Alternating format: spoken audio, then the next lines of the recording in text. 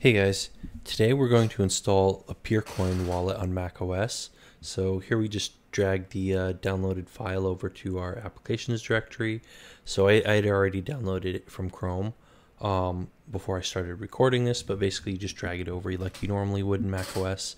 When you try to actually run it, it's going to give you this error because the publisher is unknown. So there's a fix for that. You can go in and just browse, open Finder and go browse to your applications directory.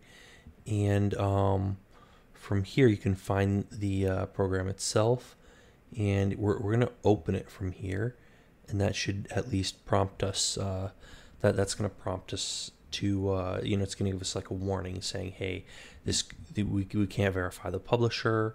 And it, it might be, um, you know you know we can't tell you for sure if it's a malicious file or not but uh, at this point you're just going to say hey open it anyways. So you can kind of override that and here we go. We have the d this is the initial setup. So you could select a custom location for data be, to be stored if you want hit next and it's going to start up. So here we have peercoin running and now it has to download like the whole blockchain and everything.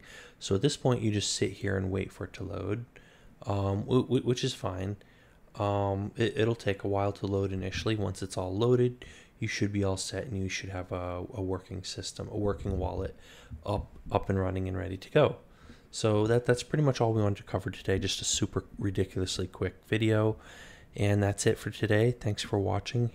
Give us a thumbs up, subscribe, hit the little bell icon, and leave a comment down below. See you guys next time. Thanks for watching.